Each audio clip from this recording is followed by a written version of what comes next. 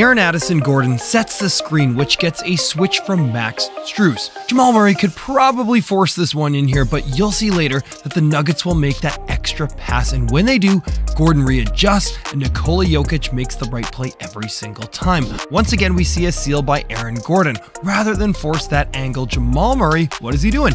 Kicking it to the top. The second he does this, what happens, my friends? The second he does this, Gordon changes the angle of his body so he can open up, and this finish looks like it came straight from 2K.